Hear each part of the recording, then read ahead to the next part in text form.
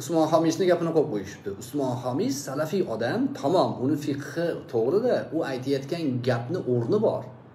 Saudiyada aytyapti u gapni. Saudiyada shu gap to'g'ri. Onasiga itoat qilmaydi soqolini qir desa. Chunki butun jamiyat butun siyosat o'shanga qaratilgan.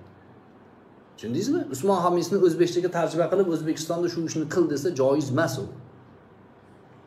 U bilmaydiki. Usmon homisni o'zidan borib so'rasangiz o'zbekistonda vaziyat shunaqa desangiz uzr kechirasizlar deydi. Man deydi bilmasdan gapiribman deydi. Haqiqiy ahli ilm bo'lsa.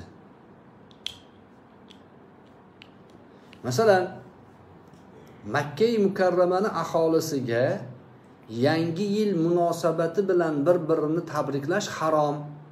Nimaga? Yo'q u yerda yangi yil yo'qda o'zi hamma u yerda musulmon kofir kirolmaydi u yerda lekin yevropadagi kofirni yangi yili bilan tabriklashning zarari yo'q. Nimaga? Uni e'tiqod yuzasidan emas mujomala yuzasidan ruxsat beradi.